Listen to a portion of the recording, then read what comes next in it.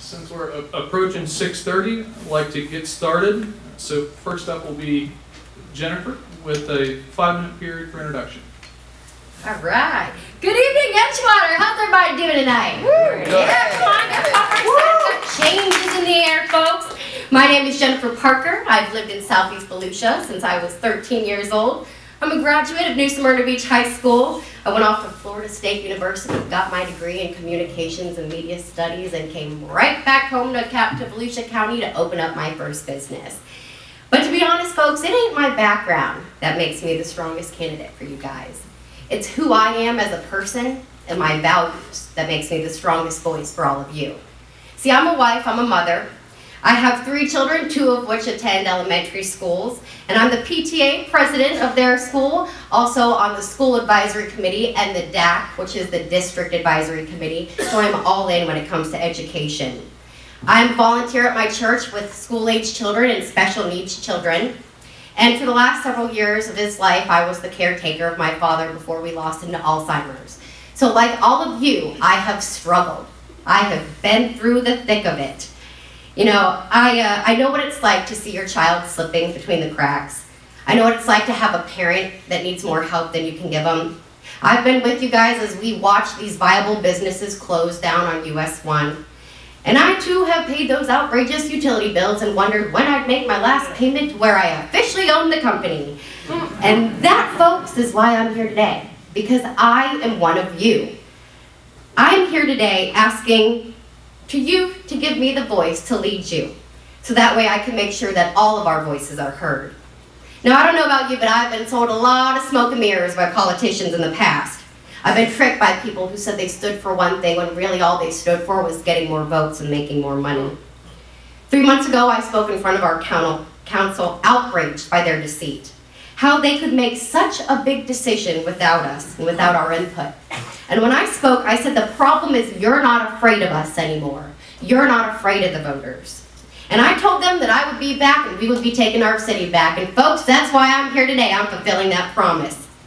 Now, while I was angry that day, today I find myself hopeful. And not just because I'm here trying to change things, but because I saw people come out to those meetings the last few months and I saw the council hear us. We as a community came together and we said we would not accept the rental inspection program as it was written.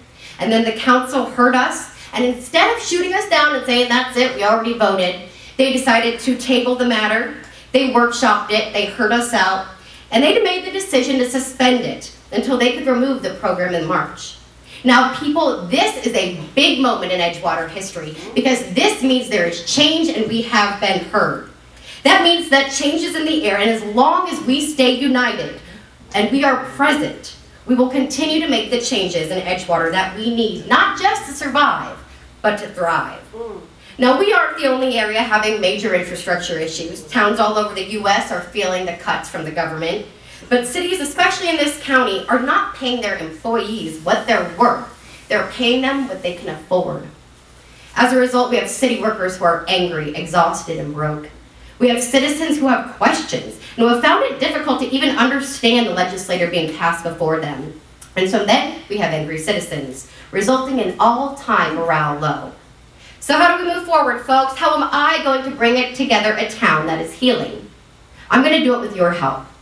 As our new interim city manager said, a city needs to get in front of the development before the developers get in front of the city. We need to do a study on this development and find out how we can appropriately increase our impact fees and hold them responsible for improving our infrastructure before the homes go in. We need support for our business owners and entrepreneurs, and we need to give them incentives for building, restoring, or renovating properties on US 1 and Park Avenue. We need to better fund and promote our Parks and Rec department so our children and our elderly and our citizens and children with special needs can have programs where that can fill them filled with life and they have new places to go. We need to protect our river now before it's too late. And most importantly, we need to stop all this bickering and stand up together to be present and to get it all done.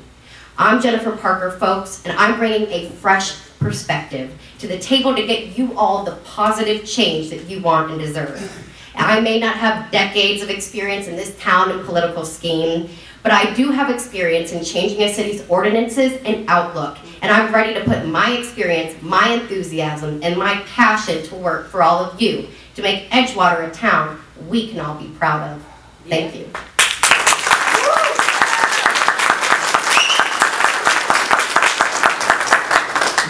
Thank you, Jennifer. I'd like to direct the, the candidates' uh, direction to the front row. You will be receiving a one-minute index card, just as a reminder. Oh, yeah. Got a minute left. That's Next up will be Kimberly.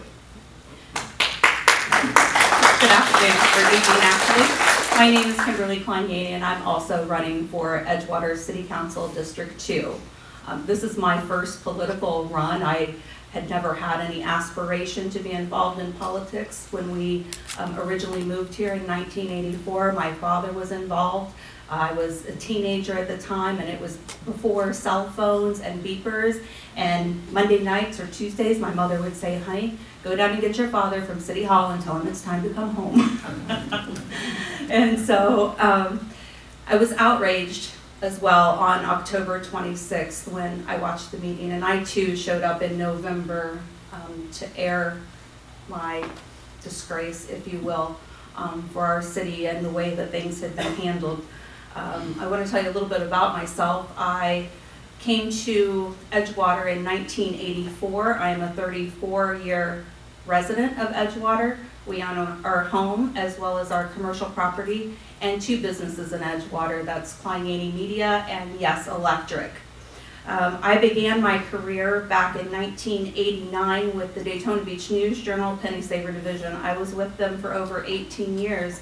And during the course of my 18 years, I was responsible not only for management, but budgeting and fiscal responsibility.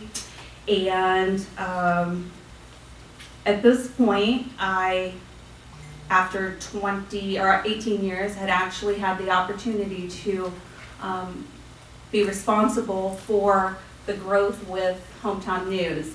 Hometown News had approached me to become their general manager, and at that time, I uh, launched four publications and 100,000 circulation after putting together a team of 50 individuals. So I know what it takes for startup, I know how difficult it is, and I'm used to running multi-million dollar businesses. And uh, that's what we're looking at here today. We've got a $54 million budget in Edgewater, and I have the assets to be able to run and manage that and make solid decisions. Uh, when we launched our own commercial uh, venture in 2010 with the electrical company as well as the media company, um, we have grown that from um, a, a home-based business to that of a small business in excess of a million dollars, and we are now responsible for putting over a half a million dollars into job creation right here in Edgewater, and we're pretty proud of that. In 2018, uh, we received a, an award from the UCF incubator uh, after graduating for job creation. And uh, in addition to that, I've served on the YMCA board for 10 years, two years as a financial committee chairperson, and two years as a um, board chair. I also started uh, the First Friday Night Market in 2012, and in 2014, we rebranded that as Edgefest that you know today. So my heart is in this community, and it is my passion to serve you, the residents, and do the very best job that I can do for you. Thank you.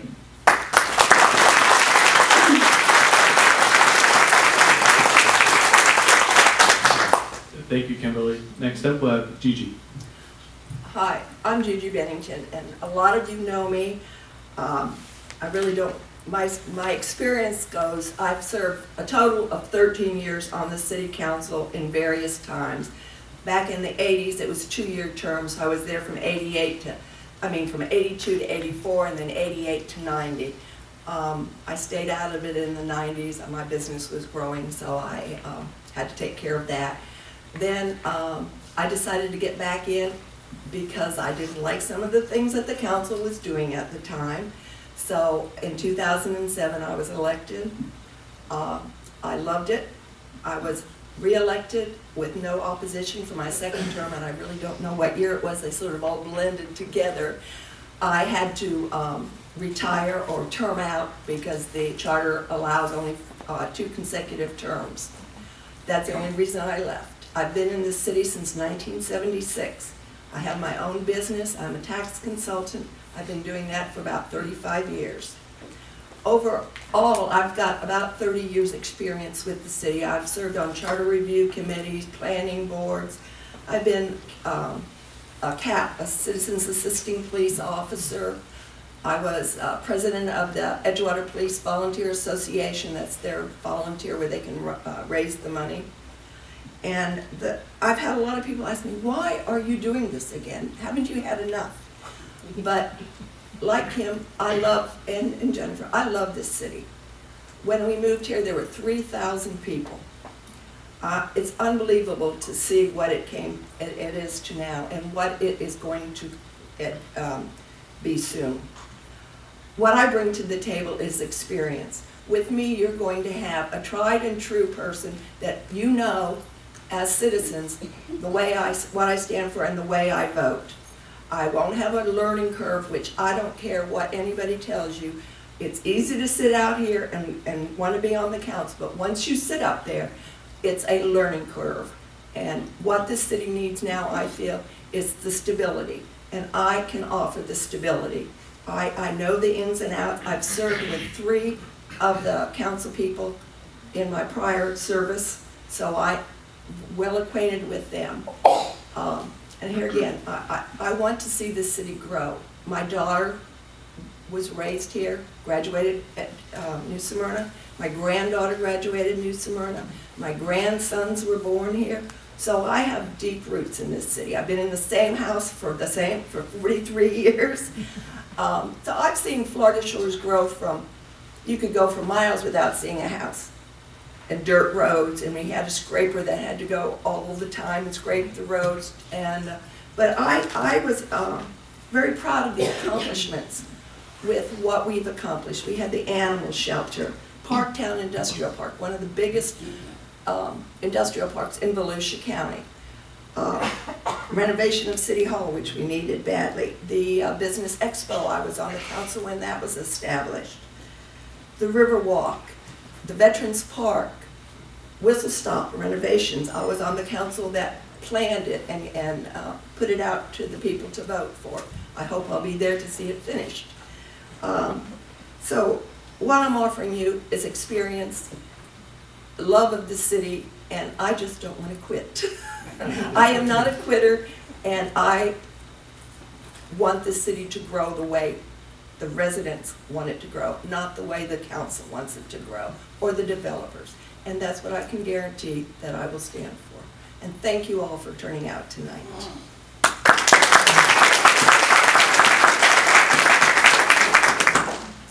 Thank you, candidates. We will now be moving to the question and answer portion. There will be three minutes for response per candidate. As I said earlier, we'll be rotating, so the first to answer the first question will be Kimberly, then move on to Gigi, and then Jennifer. And we'll continue that rotation throughout. I'll be happy to repeat the question between candidates. Please ask. First question. What is the greatest single issue facing Edgewater in the coming year, and what steps, what steps would you propose to address the issue? Kimberly?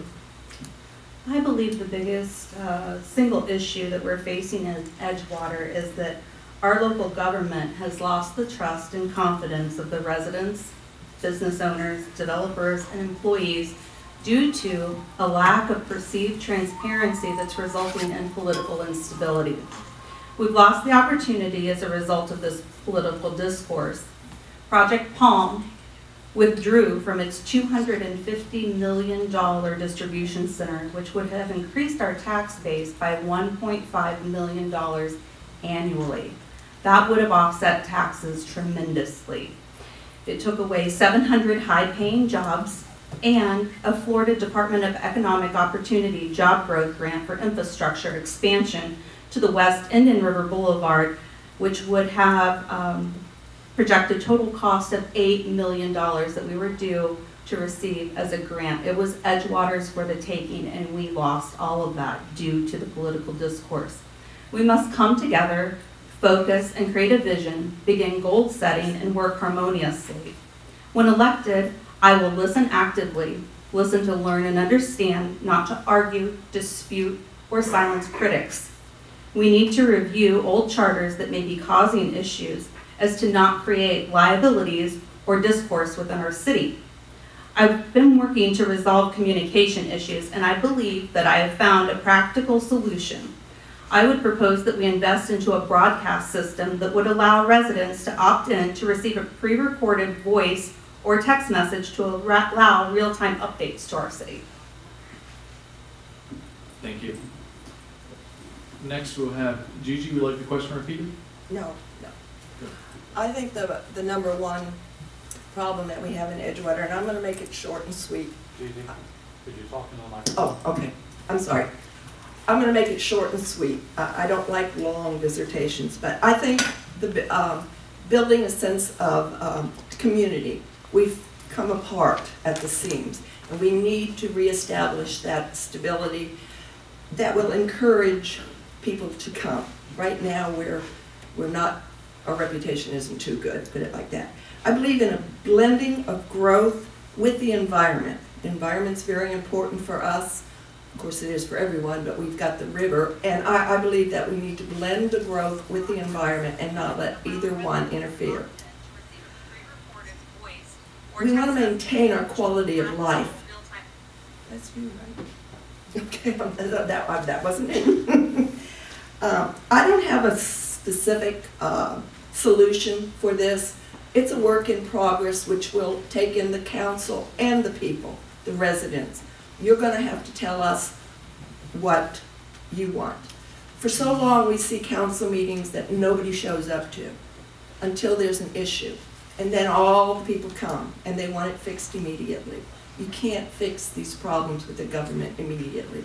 It takes sense, time, and patience. Uh, And thank you. Thank you. Jennifer, would you like the question repeated? Nope, I'm good. Here comes the long-winded lady, folks. All right, so the greatest issue we have facing Edgewater, I see, is development. Now, so many politicians within our county have been funded by developers, which has basically left us with undeveloped development plans all over Volusia. And I'm here to say I don't want to push out the developers, but I want them to know that this is our city. We were here first, and they have to do things our way. Mm. Now, today, one of the developer's lawyers came to my studio to talk to me because apparently I have been known as the lady who doesn't want a single house to be developed in New Smyrna. I mean, in Edgewater. And unfortunately, that, that I don't have that kind of power, and that's not really the scheme I'm going for. You see, what I want here is smart development. Now, we are a coastal Florida town, and that means we are going to have more houses here. We're going to have more businesses, bless them. But I want to do it in a way that we don't ruin our infrastructure, and that the people who are already landowners here don't end up having their land value plummet. So I feel that the development that happens here should make our city better, not worse. Smart development means I want to hold developers responsible for establishing the necessary infrastructure changes, including road and school funding and first responder funding, before the homes go in. We need a study done to make sure that we increase the impact fees appropriately. We had the recession, we had impact fees down, so now we have to increase them. We can't make it astronomical so we get sued, so we have to do a study to make sure it's appropriate.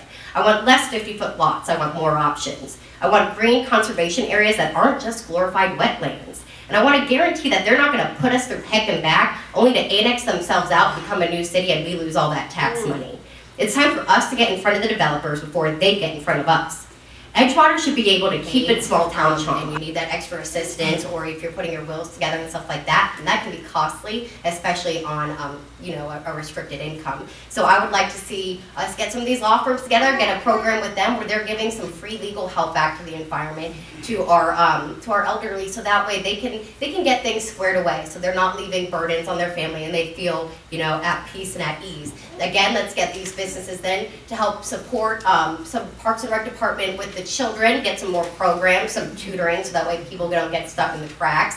I would like to see more for special needs children. We have a really, a, a growing base of amazing special needs kids that I would like to see their parents be able to get together, uh, give info to each other, and um, kind of give these, these parents and their kids a, a breath of fresh air and something to do. So I would really like to see us to, to not only bring everybody together, I want to see us actively support each other. You know, we're, we're spending CRA money to buy pocket parks. Let's give that money to Parks and Rec to make programs, real programs that help.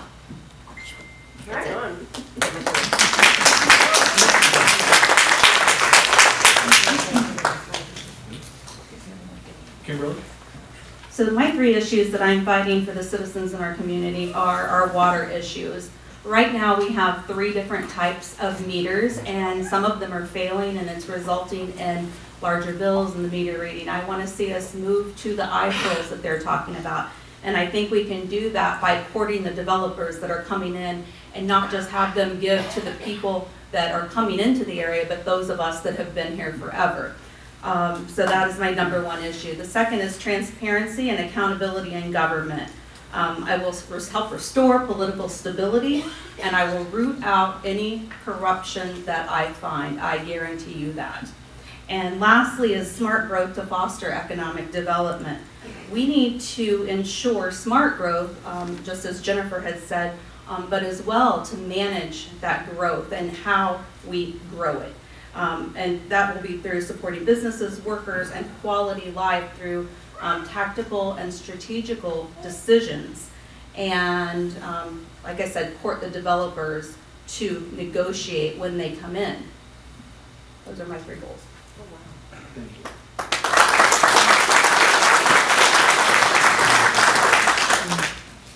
We've been to the order one time. First up for this next question will be Jennifer again. Question three, how would you take steps to educate yourself regarding utility bill concerns? Here's about three minutes on utilities, folks. Buckle up. All right, so I have been listening and reading complaints about our utility department left and right. And then when you throw your hat, uh, your name in the hat to run for office, then you really get a bunch of fun messages. And, and it- you know, so here, from, from what I've gathered, from uh, not only listening to the citizens, but also being present at the workshops and the, and the meetings, we're talking about them, this is what I know we need, okay? First of all, we need new meters, just like she said. Now, we have an option right now to, and they have a five-year plan for us, for those that can wait five years for this, right? Um, for these brand-new meters, and they're gonna cost hundred and fourteen dollars a house. And, but, what's nice about them is they will show us our usage for our meter. So we will be able to log into a program and see exactly what's happening. So that way, these people on a restricted income that cannot go a dime over their allotted amount, they're gonna be able to track that, and they're gonna be able to nip it in the bud if anything's happening beforehand, and call the city and be like, hey, I uh, see we've got a spike here, and I know that's not me, I know it's got a leak, I I need this fixed. And we can handle that, so I would say that needs to become a priority. Let's cut the five-year plan, let's, let's offer an incentives for, for homeowners that want to pay for the meter outright, and we'll take it off, you know, take a little bit out of their bill as it goes on, and then let's figure out how we can afford to put it in all the rest of the houses, because that's gonna be a big step of bringing the morale back. Um, second of all, we need to look into a new billing system. Um, it seems like there's people double charge, not send bills, um, the, the, the same bill coming back around. So that to me says we're having a technological difficulty there. Um, and so I would say what we need there is a new billing system. So let's start from scratch. Again, I know it costs money, but if we're talking about, I mean, we have people on Facebook left and right bashing our city and calling into our city, bashing the employees, bless the people that take those phone calls. Um, and and we're, we're getting nowhere. We're, we're getting people that are just saying that they want to leave the city, and what does that do? So let's shell out the little bit of extra money now, so that way we square away the meters, we square away the billing system, and we can stop complaining on social media. Then we need to reevaluate these rates, because our rates are high. Yet when you look at many of the city worker salaries who are really doing this grunt work, they're low. So why the higher rates, and what can we do to bring them down? Let's move forward with workshops that actually break down the daily operating cost and work on ways that we can make it more effective. Part of this will be looking at a reclaimed water system, finding a more affordable way to clean it and not dumping it out to the river. Maybe it means we need more effective late fee measures. Maybe we need to check out our sanitation schedules and start making up some new routes. But there has to be a way to bring these rates down, and so that way we can all live in perfect harmony. With 15 seconds left, look at that. Right on. Yeah! Thank you. Kimberly, same question. So I would educate myself by reading and dissecting the rate study for a full and complete understanding. Our utility bill has four main components. That's water, sewer, refuge, and reclaim. With the addition of rooftops, we will increase water production. We are currently producing 50% of capacity. When production increases, the cost is not exponential, so the cost per gallon will decrease, producing some savings.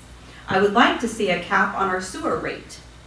Refuge is the most costly of the four. However, The people of Edgewater have spoken, and we receive outstanding service from our refuse employees, and we want to maintain our refuse service.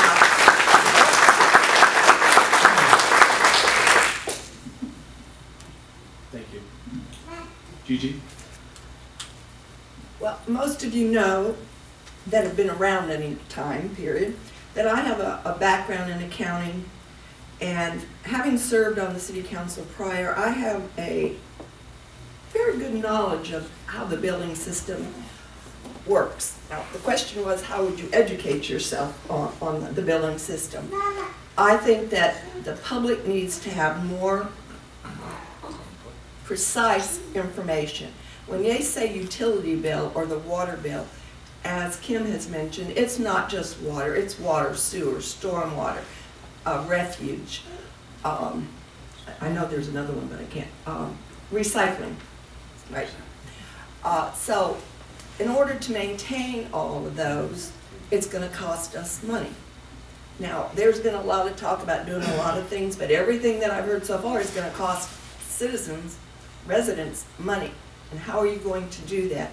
I don't think our water problem is as pronounced with the meters as we believe it is because of the Facebook and, and stuff like that. But I spent a good part of the morning talking to Bridget, the finance director, over these mi- minute, uh, these, these meetings with the, the, um, staff and the the, um, water problem. We do have a five-year plan to replace the meters. Some of them are at their maximum and they need to be replaced. It costs money. You wanna know why your water bill, bill went up? How are you gonna get the money to pay that? They're claiming that our citi, our, our workers are not paid a decent salary. It costs money to pay them. That's all gonna come out of our pockets. The water, the utility bill is a, is an enterprise fund. That is not your ad valorem taxes. That is a consumption-run operation. So the more you use, the less it's gonna cost, believe it or not. Uh, so, the main thing is, I just think we need to have more in-depth workshops with people to make them understand what is really going on. The nice long ones, but I think we ought to take it individually. One day it will be water, another workshop on the sewer, and why the costs are running the way they are. Thank you.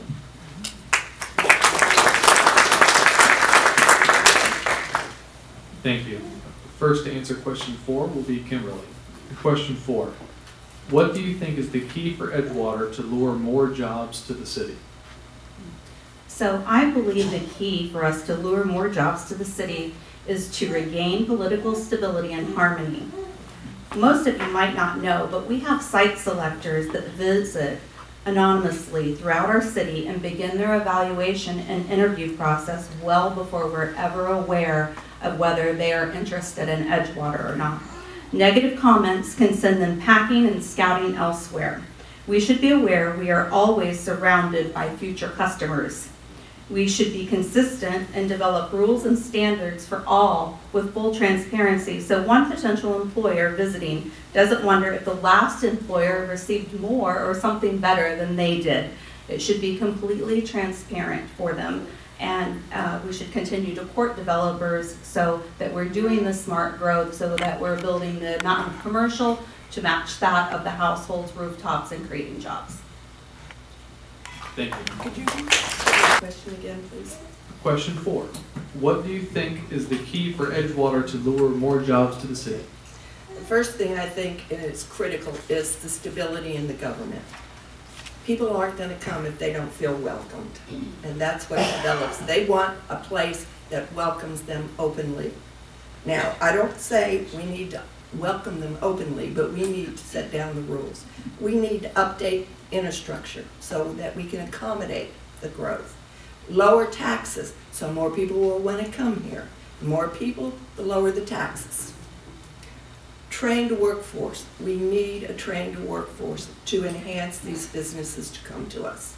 That we need to work with the schools and, and the employees that we have, the, the companies that we have, to offer training for the businesses that would like to come. We could join a partnership with the junior college and, and try to work something out like that. And we need to enhance investment opportunities. And that is a developer, it's an investment when they build. So what we need to do is make them feel welcome. Businesses need to feel welcome. We need to make them feel like we want them to be part of our community. And like I said, people will come when they feel welcomed. That's it, thank you.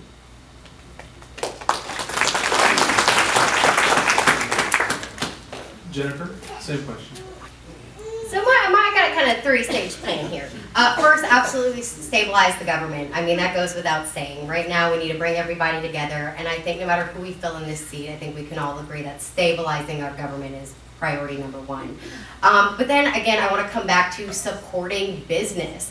We, you know, I, I, I love that we have the idea of bigger stores or bigger chains coming, but really what I want to see us support is small business. I want to see US 1 and Park Avenue filled up with small businesses, so many small businesses that we have everybody and their next door neighbors an entrepreneur and they're hiring their friends and we're all just letting this cycle go on and we're going to do that by, by again mandating that the CRA starts giving you know checks out to these business owners who are coming in. Um, again, slashing that sign ordinance, which I'm going to get into in a little bit later too. Um, and and as a community, we need to get out there and go to those places, folks. That means you got to eat at these restaurants that are coming in, and you got to shop at these stores that are shop that are coming up here. Because part of a business surviving is we actually have to be there shopping and be present. So we can't exactly order everything online and then complain that we don't have a retail store on US One. You feel me? Um, so other than that, though, I really think ecotourism could be a big hit for us here. I think we are dropping the ball by not really, really promoting that. Um, we've gotten some great bike trails, okay, that's awesome for people who love to bike, that's a cool thing. I've never really been an outdoor girl myself, but even I want to hop on a bike and I'm nagging my husband to go get me a bike from Target so I could go check out how far these trails go. Um, and I feel like if we could promote our river as we start taking care of it, and we can market it as a reason for people to come to Edgewater, we can promote events on our river to show people this town what we really have to offer. If we have more people utilizing our waterways and our bike trails that we created, guess what's going to start coming next? Mom and pop shops that are selling outdoor supplies or bake shops, rentals, bike stores, sports stores. Those can be the kind of businesses that come here and thrive here. We can promote this ecotourism even further by having an app. There's an app for that, folks. So you know the Pokemon game? Anybody got kids? Anybody know what the Pokemon thing is? So they had an app and it got kids out around town finding these little invisible creatures on cell phones and iPads. So what if Edgewater had our very own map? And it was like a treasure map. And it was this app you could go and explore our whole town. And if you go different places, it would unlock different discounts, coupons from our sponsors, and all those good kind of things. So we're getting out there. We're telling you to check out the outdoors and feed into our ecotourism, and then come back because you're going to be hungry. You need a glass of water. You, you might need to rent a kayak or buy one next time if you're out here because you're so into it. So ecotourism, stabilizing our government, supporting our businesses, that's how we grow jobs here, folks.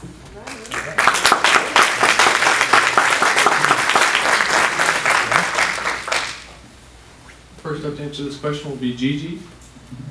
What do you think the city, not the county or the state, could do to improve the water quality of the Indian River Basin? All right, one of the things is we need more baffle boxes, for sure. We need to run reclaimed water lines to all of Edgewater, not just areas. We need to partner with adjacent cities to help keep our waterways clean. We can't do it by ourselves. We're affected by the surrounding areas. It has to be a joint partnership with the same goals. We need to set goals for what we hope to accomplish and a timetable that will keep us on track. And it will also help the people and the council realize where we are and how far we need to go and what we have accomplished. We also need to put a moratorium, if we have any, I really didn't get around to that yet, how many septic tanks we have in Edgewater. We should not allow any septic tanks in, in Edgewater. They all should be replaced. I think we're well on the way. We just did the Thomas area a couple of years ago, Thomas Street area. And the people were thrilled to have water, city water and sewage. The sewage was really, it was getting a lot, uh, costing a lot to empty their septic tanks. I wouldn't want to have to do that job. Um, And we need to keep our, t- we have, well, okay, I already said that, partnership with the city, other cities, areas. We can't do it alone. That, doing it alone just doesn't work. Because if, if we were isolated, it would.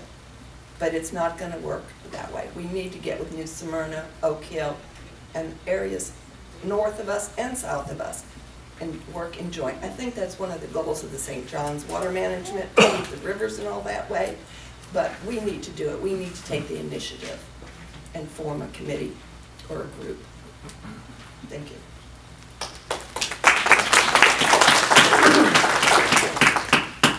Jennifer, same question. Gotta get up in my seat because I'm excited about this one.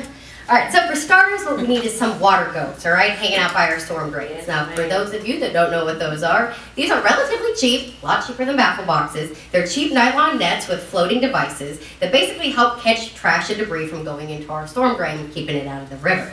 Now, other cities have been able to get these things sponsored. I, in fact, bet I bet we could too. Uh, shout out to Libby over there. She's already reached out uh, to Publix to work on getting one sponsored by them and some other businesses. So that's something that's relatively cost effective that we can do right now, folks. And beyond that, our city needs to take this step further and find out better ways to handle our reclaimed uh, water so that we're not just dumping it out into the river. Now, yeah, we can move it short term out west and kind of put it into the ground, but eventually that will come back to bite us too. So we need to come up with something that's going to be long term and cost effective to clean that water. Um, and uh, like she said, I'm also going to double to get rid of all the septic tanks. That's just good for everybody. Um, we also need to take responsibility as citizens, folks. My kids and I, we go on monthly trash walks, and we go and we pick up, you know, um, trash from around the, the streets or the canals. That's what we started now. It used to be the beach to get rid of all the tourist trash, but now we focus here on Edgewater. And I've used this as time to spend with my kids, and we get to talk about our day, and it's something away from video games and all of that. But also, it shows this next generation firsthand what happens when you when you give into pollution. My son Jackson will tell you all about how you're you all are killing the fishes, and eventually that's going to kill us all too. Um, so let's get some festivals, some initiatives going as a town that we sponsor, where we're giving out the gloves, where our city officials are getting their hands dirty, and we are promoting once a month that hey, come to a town. This is the spot we're cleaning up now. Let's do this together, and then everybody can go home and, and feel like they did their piece for the universe that day. So hurrah! Um, and also, finally, can, we need to push away with the fertilizer-ridden yards and push towards gardens that are supposed to actually be here. Wouldn't that be an idea? Now, William Bliss of the Sustainable Volusia is creating a plan to get cities basically promoting these gardens with native plants. And these native plants would basically mean so you don't need chemicals, and also some of them even help like filter out the, the water um, in the ground and all that good stuff. So you have pretty gardens that we're not putting chemicals in, and we have plants that are actually giving more back to us, rather than those yards, which are mostly brown half the year and pumped filled with fertilizer. Um, as a side note, I'm on my soapbox. If you are a gardener, a botanist, you know how to write, we really are trying to move forward with that initiative to get these gardens popping up in cities all over Volusia right now so we can make a difference now, show these homeowners now how easy and affordable it would be to just start, you know, even just take a little bit of your lawn out to put in this garden, um, and we're going to help you do it. So that's my piece. Kimberly, same Repeat question. the question, please. Sure. What do you think the city, not the county or the state, could do to improve the water quality of the Indian River Basin? I believe we could improve the water quality in the Indian River Basin by expanding reclaimed water to the west. Stormwater sheet flows directly into the river and unfortunately taking pollutants with it. We currently have two large baffle boxes that most of you are aware of, one in North Edgewater and another in the Riverside 442 area. If we could capture the storm water by installing smaller baffle boxes, it would make a huge difference. In addition, if we could locate and purchase some property along this area to also create additional retention stormwater, uh, we believe that could also make a difference. Uh, The other thing we could do is create a public campaign for residents to add gravel and organic matter to soil and encourage everyone to catch runoff and rain barrels that we could use. It starts at home before we get to the government level, so we all need to do our part to protect our environment.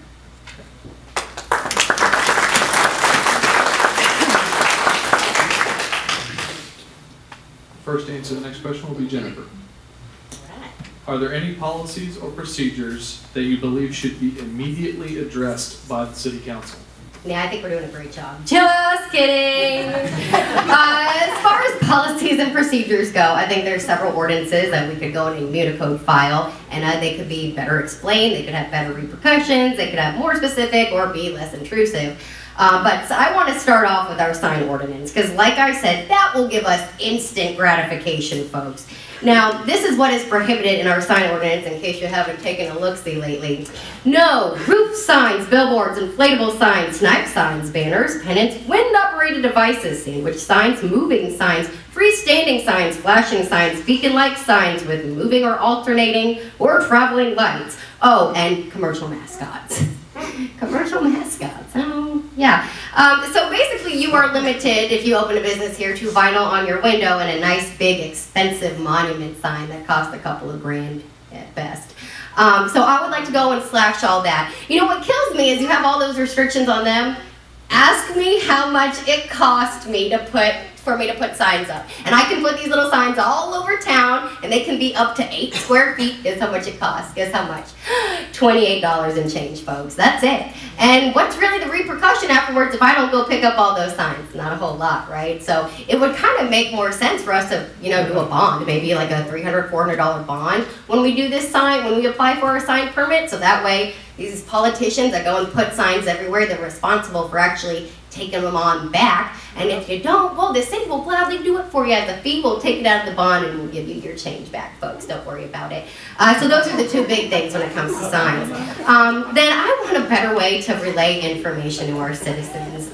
Uh, you, how am I doing on time? Okay. Uh, when I say that, I don't just mean that we need to find new ways to get the information out to citizens, though I did love Kim's idea of the roll call thing. The schools do that. They give me a call and a text message so I know when things are coming up. If the city could do that, it would be greatly appreciated. I could put it in my PTA calendar. We'd be good to go. Um, but other than that, we need to explain to the people what these things mean. You know, I, I had people, when I put my name in the hat here, they, they were messaging me asking, what does this ordinance even mean? And so now I'm spending all this time explaining this to all these people as what exactly that we're passing. So what I would like, and I don't know if we need to make another board to do this, we got a lot of boards happening, and we could compose a board of citizens who will look at these ordinances and explain in layman's terms what they mean. So that way we can send that out in the newsletter and that out in the call home so that people actually know what it is that we're trying to pass. So we're not just sweeping things right under folks. You know what I mean? All right, that's it.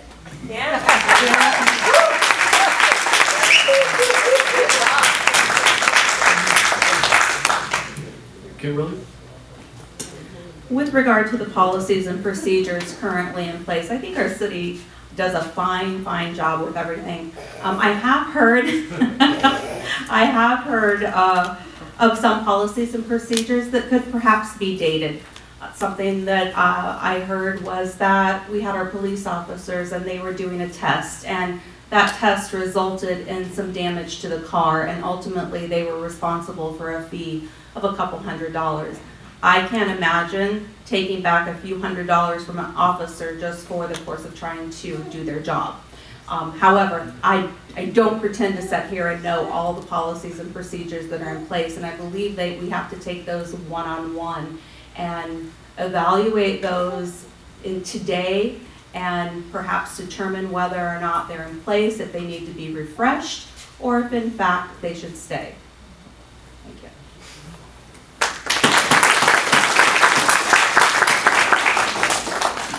Gigi? I have a couple. And I, here again, I'm gonna try to keep it short and sweet. We need to address our water quality.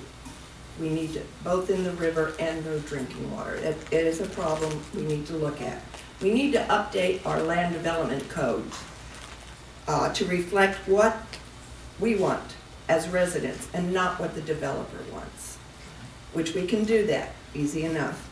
We need to hire, now we've got an interim city manager which hopefully will work out, but we need to hire a full-term time permanent city manager. The city needs that. We are lost without the direction. The employees are going, my, my take on it is they go from day to day, just getting by the day, because there is no one to really lead them. We have a city manager form of government, and the council cannot interfere with the running of the personnel in any way, shape, or form. It has to all go through the city manager. We need to clarify items that are not on the agenda, that we don't vote on them. We need to put that in our rules somewhere, that we do not vote on anything that is not on an agenda. We can discuss items, but no vote is taken until it is an agenda item. I think that is what really started most of this, and we need to really, I thought we all understood that, but apparently not, but we need to clarify that so the council knows what you people expect. I, I've heard a, I've heard a lot of, of good ideas, but please remember, these ideas are ideas, and there's a lot of money involved in a lot of these ideas. They cannot be accomplished in two years, no matter how hard you try. So, you need, we need experience and somebody that knows what's going on. Thank you.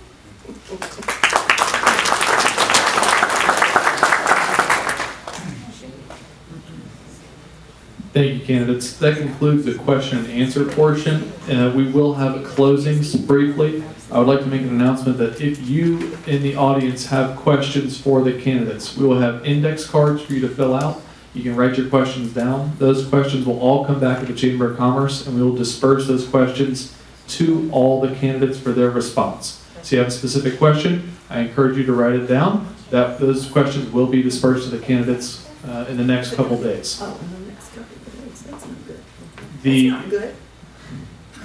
How are they gonna? We're on a timeline, all right? We're on a timeline here, folks. We got seven days. Right. We now have five minutes each for closing statements. And first up for closing will be Kimberly. Thank you so much. Um, I love our city and I stepped up because I love our city and I have a tremendous amount of business knowledge and I'm willing to put that forth for the city. I believe what sets me apart from my uh, opponents is the fact of the scale of business that I've handled and managed.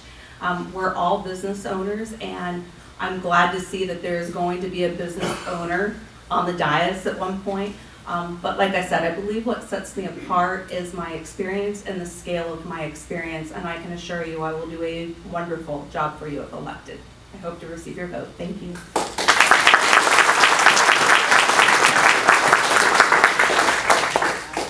Gigi?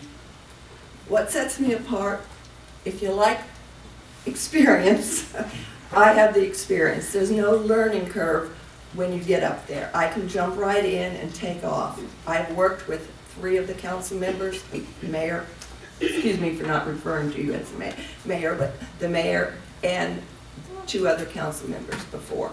We have, I don't want to say relationship, but we know how each other works. It- We can mesh, we can, we can have our differences, and we can go on.